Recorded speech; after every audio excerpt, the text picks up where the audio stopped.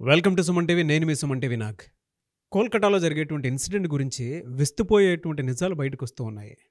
ఒక CM road మీదకి వచ్చి ధర్నా చేయటం ఏంటో దాని వెనకుండేటువంటి పొలిటికల్ వెండట ఏంటో అండ్ దానితో పాటు ఒక మహిళకి ఇలాంటి అన్యాయం జరిగింది అని అంటే దాని మీద ఇప్పటికీ జడ్జిమెంట్ రాకపోవటం ఏంటో అండ్ అక్కడ జరిగేటువంటి మెడికల్ కాలేజ్లో అసలు ఏం జరుగుతోంది? దేనికి సంబంధించింది? ఇప్పటికీ ఆ జడ్జిమెంట్ ఎందుకు ఆగుతోంది? అండ్ దీంట్లో పొలిటికల్ పార్టీస్ ఇన్వాల్వ్మెంట్ అసలు ఏ విధంగా జరుగుతోంది? అండ్ ఆ కాలేజ్కు ఆ కాలేజ్లోనే ఎందుకు ఇలా జరిగింది? సో గతంలో ఏమైనా జరిగిందా? అండ్ ఆ కాలేజ్ హిస్టరీ ఏంటి? విస్తుపోయేటువంటి నిజాలు బయటపడుతూ ఉన్నాయి. ఒక్కొక్కటి ఒక్కొక్కటి. ఈ వీడియోని పూర్తిగా చూడండి. సో ఆ కాలేజీలో జరుగుతున్నటువంటి నేర చరిత్ర ఏ విధంగా ఉంది గతంలో? అండ్ ఇప్పటికి ఎందుకు బయటకు వస్తుంది అనేటువంటిది పూర్తిగా ఈ వీడియో చూసిన తర్వాత మీకు తెలుస్తుంది. సో దయచేసి ఈ వీడియోని పూర్తిగా చూడండి. అండ్ ఎవరైనా సరే ఇటువంటి కాలేజెస్ చూస్ చేసుకునేటప్పుడు ఒకటికి రెండు సార్లు మాత్రం ఆలోచించుకోండి. So coming to subject. Hello Rabindranath గారు. హాయ్ అండి నాగరాజ్ గారు. సార్ కాలేజ్లో నేర చరిత్ర అనేది గతంలో చాలా ఎక్కువగా ఉందని చెప్పేసి మనం విన్నాము. ఈ- ఏంటి ఆ కాలేజ్ అంటే కాలేజ్ బ్యాక్గ్రౌండ్ ఏంటి? నాగరాజ్ గారు ఆర్జికర్ మెడికల్ కాలేజ్ ప్రధానంగా అందరి దృష్టిని ఆకర్షిస్తున్నటువంటి ఒక కాంట్రవర్షియల్ కాలేజ్ అయిపోయింది. అతి పురాతనమైన కాలేజ్ ఆర్జికర్ మెడికల్ కాలేజ్ అంటే గోవిందకర్ కాలేజ్ ఇది. ఇది కలకత్తా మహానగరంలో. దాని ముందు దాని జియోగ్రఫికల్ స్ట్రక్చర్ చెప్దాం. మధ్యలో హూగ్లీ నది ఉంటుంది. హౌరా బ్రిడ్జిగా దగ్గరలో ఉంటుంది. ఇక్కడ కలకత్తాలో ఈ ఆర్జికర్ మెడికల్ కాలేజ్ యొక్క సంగతులు ఏంటి? అసలు మెడికల్ కాలేజీలో గత చరిత్ర ఏంటి? ఏమేం జరిగాయి? అని చెప్పుకునే ముందు కొంత నైసర్గిక స్వరూపం ఉంది. ముఖ్యంగా కలకత్తాలో ఒక రెడ్ లైట్ ఏరియా ఉంది.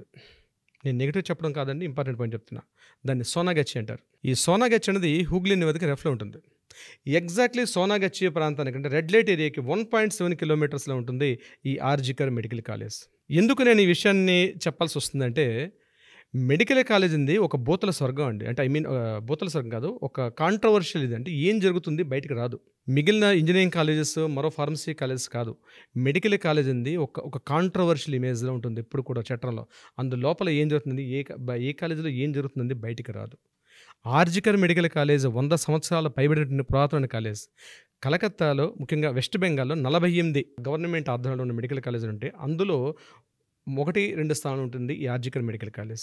National medical college తర్వాత రెండో కాలేజ్ అతిపెద్ద కాలేజ్ చెప్పుకుంటాం. ఈ ఆర్జికర్ మెడికల్ కాలేజ్ యొక్క పుట్టుపురోత్తరాలు పరిశీలించి మనం కాస్త ముందుకెళ్ళినట్లయితే నేర చరిత్రకు సంబంధించి నేను మంచిని చెప్పట్లేదండి. కొన్ని వందల బ్యాచ్లు విలే ఈ ఆర్జికర్ మెడికల్ కాలేజ్లో ఈ రోజు మనకి జరిగిన ఈ సంఘటన మీద ఏదైతే చర్చలు చేసుకుంటున్నా ఇది ఫస్ట్ టైం కాదు. ఇది ఆల్రెడీ చాలా సంఘటనలు జరిగాయి.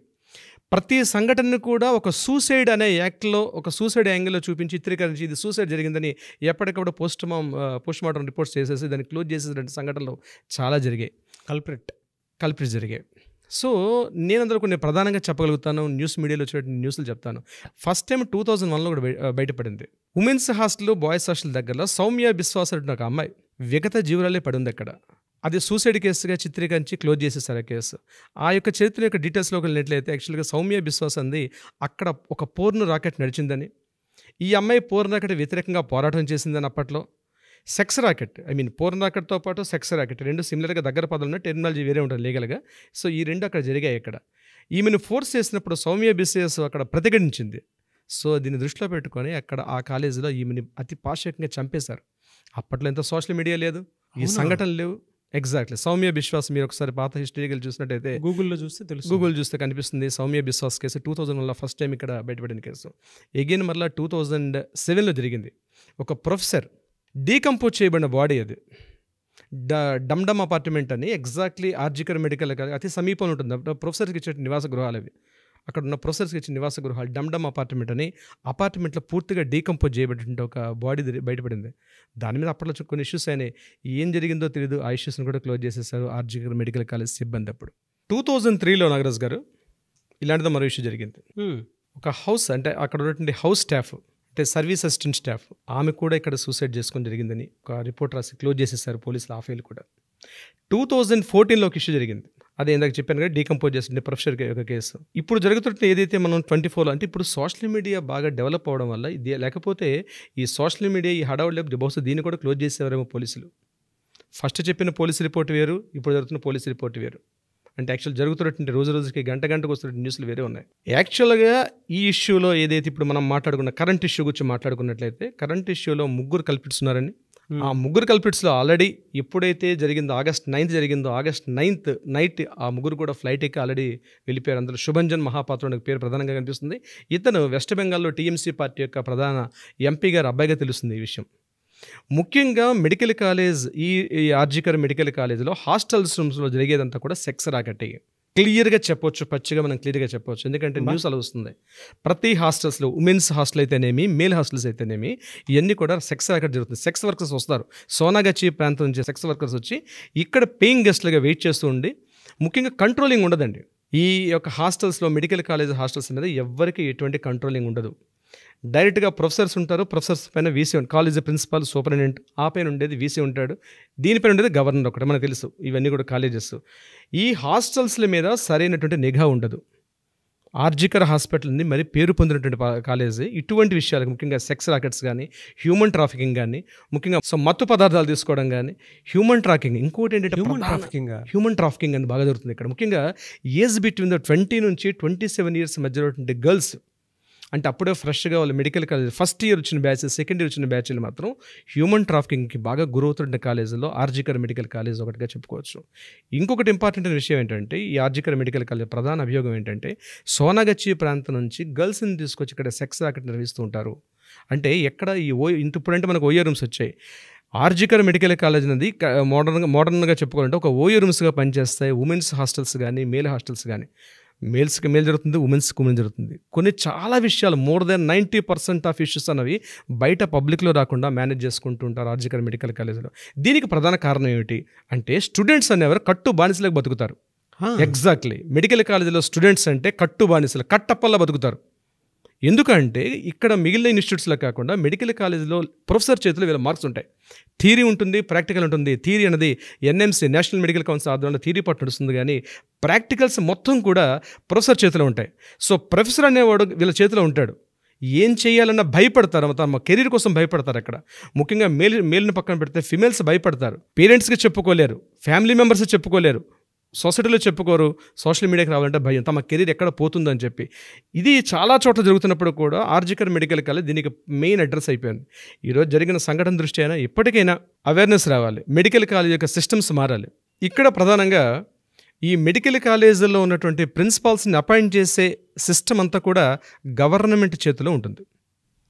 గవర్నమెంట్ మెడికల్ కాలేజ్ సో ఇక్కడ ఆ రాజకీయానికి అనుకూలంగా అంటే వీళ్ళ పాలిటిక్స్కి అనుగుణంగా ఉండే కాలేజెస్ వాళ్ళు అక్కడ మేనేజ్మెంట్లు మేనేజ్మెంట్లో పెడతారు. ఇప్పుడు ఏదైతే ఈ రోజు ఇన్సిడెంట్లో మనం చెప్పుకున్నటువంటి సంజయ్ ఘోష్ ఇతను కొత్తగా ఏం కాదు ఇతని మీద కూడా చాలా నేర చరిత్ర ఉన్నది. గడచిన ఇది ఈజ్ ఆల్మోస్ట్ ఎయిత్ ఇయర్ అదే కాలేజ్ ప్రిన్సిపాల్గా సూపరింటెంట్గా పనిచేస్తున్నాడు. ఎయిట్ ఇయర్స్ నుంచి పనిచేస్తున్నటువంటి సంజయ్ ఘోష్ కూడా చాలా నేర ప్రవృత్తి కలిగి ఉన్నాడు. హ్యూమన్ ట్రాఫికింగ్ వల్ల ఇప్పటికే రెండుసార్లు ఈయన మీద ఎఫ్ఐఆర్ కూడా నమోదైంది. ఎఫ్ఐఆర్ నమోదైన వ్యక్తిని ఇప్పటికీ ఎలా కొనసాగిస్తున్నారు అనేది ప్రశ్నార్థకం. ఇది చెప్పాల్సిందే ఆ కాలేజ్ యొక్క మేనేజ్మెంట్ కావచ్చు లేకపోతే వీసీ గవర్నర్స్ దీనికి సమాధానం చెప్పాలి. ఈ యూనివర్సిటీస్ అన్ని కూడా గవర్నర్స్ అండర్లో ఉంటాయి. అవును. ముఖ్యంగా తృణమూల కాంగ్రెస్ పార్టీ అంది ఒక పార్టీ కార్యకర్తగా పనిచేస్తున్నట్టుగా పనిచేస్తున్నట్టుగా చెప్తారు ఇక్కడ ఇతను. అక్కడ ఏంటంటే ఈ ముఖ్యంగా ఈ ఈ ప్రాక్టికల్స్ ఎగ్జామ్ జరిగేటప్పుడు అఫీషియల్ ఫీజెస్ కాకుండా ఈరోజు మనం ఏదైతే కలపరేట్ మనం ఈ సంఘటనలో ఉన్నటువంటి బాధితురాల గురించి మనం మాట్లాడితే ఈ అమ్మాయి ఆడియో క్లిప్లో కూడా ఒక న్యూస్ చెప్పింది. ఇక్కడ మనకు practical ఎగ్జామ్స్తో they are asking more money. అంటే అఫీషియల్ రికార్డ్స్ కాకుండా అన్అఫీషియల్గా they are charging extra money అని చెప్తున్నారు అమ్మాయి. ఒక వీడియో క్లిప్ కూడా బయటకు ఆడియో సరే ఆడియో క్లిప్ కూడా బయటకు వచ్చింది. ఈ లంచగొండితనం అంటే ఎక్కువగా కరప్షన్ ఓవర్ కరప్షన్ ఉంది ఈ కాలేజీలో ఎక్కువగా ఉంది ఆర్జికర్ మెడికల్ కాలేజీలో. ఇంకొకటి ప్రధాన విషయం అవయవాల మార్పిడి. ఇంటర్నల్ హ్యూమన్ ఆర్గాన్స్ని ఇక్కడ ట్రాఫికింగ్ చేయడం ఉన్నది ఆర్జికర్ మెడికల్ కాలేజీ ప్రధానంగా ఉంది. అక్కడ నుంచి దేశ అంటే ఈ దేశం దాటి అటు పైగా ఉన్నటువంటి బంగ్లాదేశ్ బర్మా ఇక్కడ నుంచి పై దేశాలకి ఇంటర్నల్ ఆర్గాన్స్ అన్నాయి అంటే ఆర్గాన్స్ ఉన్నటువంటి ఆర్గాన్స్ ట్రాఫికింగ్ అంటారు లీగల్ టెక్నాలజీలో ఆర్గాన్స్ ట్రాఫికింగ్ అంటారు. ఇది ఎక్కువగా సప్లై అవుతుంది చాలా మంది. RG Kar medical college. శవాల దెబ్బలా ఉంది అది మీరు యాక్చువల్గా మెడికల్ కాలేజ్ అన్నది ఏంటంటే ఒక మెడికల్ కాలేజ్ ఎస్టాబ్లిష్ చేయాలంటే ఒక మెడికల్ హాస్పిటల్ ఉండాలి ఫస్ట్. మెడికల్ హాస్పిటల్గా ఒక త్రీ ఇయర్స్ కంటిన్యూటీ ఉంటేనే మెడికల్ కాలేజ్ ఇస్తారు. Medical hospital three years continuity ఉండాలి. దీనికి అనుసంధానంగా పనిచేస్తుంది. ఎందుకంటే ప్రాక్టికల్స్ హాస్పిటల్కి వెళ్ళి వాళ్ళ థియరీ ప్రాక్టికల్స్ నేర్చుకుంటారు ఉద్దేశంతో ఆర్జికర్ మెడికల్ కాలేజ్ ఎప్పటికీ కాదు వందేళ్ళ నుంచి చాలా ఇష్యూస్ జరుగుతున్నాయి. ఇప్పుడు ఈ సందర్భంలో ఏంటంటే మెడికల్ కాలేజీల యొక్క వ్యవస్థ మీద కూడా ప్రభుత్వం దృష్టి పడాల్సిన పెట్టాల్సిన ఆవశ్యకత ఉంది. ఇప్పటికైనా ఒక మెడికల్ కాలేజీలో పేరెంట్స్ తమ స్టూడెంట్స్ని జాయిన్ చేసేటప్పుడు ఆ మెడికల్ కాలేజ్ యొక్క ప్రీవియస్ హిస్టరీ ఏమిటి? అన్ఫార్చునేట్ అండి. ఒక ఒక దురదృష్టమైన సంఘటన జరిగి మన సొసైటీ జరుగుతుంది ఏంటంటే మన పిల్లల్ని ఎల్కేజీ నుంచి టెన్త్ క్లాస్ జాయిన్ చేయాలంటే ఏ ప్రైవేట్ స్కూల్ బాగుంటుంది లక్షల్లో ఫీజు చెల్లించి చేయిద్దాం అనుకుంటాం. కానీ వన్స్ నీట్ ఎగ్జామ్ రాసిన తర్వాత మెడికల్ కాలేజీలకు వెళ్ళాలంటే ఫస్ట్ ప్రయారిటీ మనం ప్రిఫర్ చేసేది మాత్రం గవర్నమెంట్ కాలేజెస్. అంటే ప్రభుత్వం ఎల్కేజీలని ఇంత first year first class second class third class tenth class వరకు మనం చదివించలేదా? ఈ యొక్క సిస్టమ్ మారాలండి. ప్రభుత్వ వ్యవస్థ మారాలి. ఎడ్యుకేషన్ సిస్టమ్ మారాలి. విదేశాల్లోగా ఫ్రీ ఎడ్యుకేషన్ ఎప్పుడైతే పెట్టగలుగుతామో దాని మీద కూడా దానికి ఒక స్పెషల్ వింగ్ ఉండాలి. ఒక ప్రత్యేక వ్యవస్థ ఏర్పాటు చేయాలి. ప్రత్యేక చట్టాల యొక్క రూపకల్పన జరగాలి. అటువంటి సందర్భంలో విద్యా వ్యవస్థ బాగుంటుంది. ఆర్జేకర్ లాంటి వరస్ట్ మెడికల్ కాలేజెస్ అన్నాయి. ఇప్పటికైనా కళ్ళు తెరిచి సర్దుకోకపోతే రాబోయే రోజుల్లో భారీ మూల్యం చెల్లించుకుంటాయి. బట్ మీరు చెప్పిన దాని ప్రకారం అయితే అండి అంటే మెడికల్ కాలేజ్ని చూస్ చేసుకునేటప్పుడు డెఫినెట్గా దాని హిస్టరీ ఏంటనేటువంటి విషయం కూడా తెలుసుకోవాల్సినటువంటి బాధ్యత కూడా చాలా ఉంది. హ్యూమన్ ట్రాఫికింగ్ అన్నారు. ఆ ప్రిన్సిపల్ మీదే ఉందని చెప్పేసి చెప్పారు. చూడండి అసలు మీరు ఏదన్నా అంటే ఈ వీడియో చూసిన తర్వాత అయినా సరే మీ పిల్లలకి ఒక మంచి కాలేజ్లో జాయిన్ చేయించాలి అనుకున్నప్పుడు కాలేజ్ నేర చరిత్ర ఉందా లేదా అనేటువంటి విషయం కూడా ఒకటి రెండుసార్లు రీచెక్ చేసుకొని వెళ్ళండి. నిజంగా అండి. అంటే ఇది వచ్చిన తర్వాత అవేర్నెస్ అనేది చాలా బలంగా పెరిగిందని చెప్పేసి అంటాను నేను. ఎవరైనా సరే మెడికల్ స్టూడెంట్స్ తెలుసుకోవాల్సినటువంటి విషయాలు అవేర్ అవ్వాల్సినటువంటి విషయాలు అండ్ పేరెంట్స్ కూడా అవేర్గా ఉండాల్సినటువంటి విషయాలు చాలా ఉన్నాయి ఇందులో. రియలీ గ్రేట్ సామాజిక బాధ్యతతో కొన్ని సంఘాలు ముఖ్యంగా ఎన్జి సంఘాలు కూడా హ్యూమన్ రైట్స్ కానీ ఇట్లాంటివన్నీ కూడా ఈ యొక్క మెడికల్ కాలేజ్ మీద ఏదైతే ఉందో ఒక వ్యవస్థను ఏర్పాటు చేసుకోవాలి. నిజంగా చెప్తున్నాండి మెడికల్ కాలేజ్ అన్నది మిగిలిన ఎడ్యుకేషన్ సిస్టమ్ కాదు. మెడికల్ కాలేజ్ స్టూడెంట్ అంటే మిగిలిన ఎడ్యుకేషన్ లాగా చదువుకునే కుర్రాడు కాదు. ఆ కాలేజీ వ్యవస్థే ఒక అద్భుతంగా అని ఊహించుకుంటారు పేరెంట్స్ అందరు కూడా. కానీ ఇది వాస్తవం పరిస్థితి వేరు. రియాలిటీ వేరు. జరుగుతున్నది వేరు ఇక్కడ. సాక్ష్యాలను తారుమారు చేయడం అన్నది గడిచిన రెండు రోజుల నుంచి మనకి కనిపిస్తున్నాయి వినిపిస్తున్నాయి. సంఘటన జరిగిన ప్రదేశానికి దగ్గరలో ఉన్నటువంటి ఒక వాల్ను బ్రేక్ చేసినటువంటి ఫోటో ఇమేజెస్ మనం చూసాం. ఎందుకు ఇమేజ్ అక్కడ ఎందుకు బ్రేక్ చేశారు? ఆ సెమినార్ హాల్ని ఎందుకు అక్కడ సంఘటన ప్రదేశాన్ని అక్కడ ఎందుకు అక్కడ పబ్లిక్ని అలౌ చేశారు? దాన్ని రెన్యువేషన్ పేరుతో ఎందుకు బ్రేక్ చేశారంటే కూడా రీసెంట్గా మనకి ట్విట్టర్లో వినిపిస్తున్న న్యూస్ ఏంటంటే ఎవరైతే కల్పిట్స్ ఉన్నారో ఈ హత్య చేసిన తర్వాత వాళ్ళ చేతుల్ని అక్కడ పక్కన సింక్ ఉందట ఆ సింక్ దగ్గర కడుక్కున్నారు. ఆ సింక్ దగ్గర రక్తపు చారికలు కూడా కనిపిస్తున్నాయి. సో సింక్ని బ్రేక్ చేస్తే బ్రేక్ కనిపిస్తుందని రెన్యువేషన్ పేరుతో మొత్తం వాళ్ళని కూడా బ్రేక్ చేశారు రీసెంట్గా ట్విట్టర్లో మనకు కనిపిస్తున్నటువంటి న్యూస్ కూడా ఇది. సో ఇదేంటంటే ఈ కాలేజీలో ప్రతి సంఘటన అనుమానాస్పదం సాక్ష్యాలను తారుమారు చేయడం అన్నది.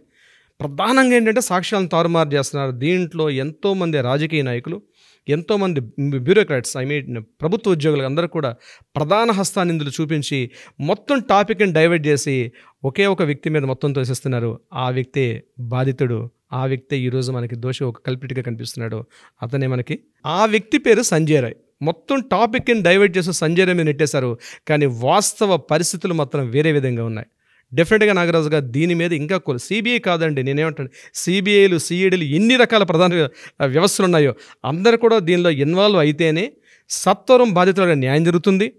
అదేవిధంగా కలకత్తాలో జరిగిన ఈరోజు ఈ సంఘటనకి ఒక ముఖ్యమంత్రి సాక్షాత్తు సిట్టింగ్ ముఖ్యమంత్రి వర్డ్ డిఫరెంట్ వర్డ్ ముఖ్యమంత్రి రోజు రోడ్డు మీదకి వచ్చి న్యాయం జరగాలి.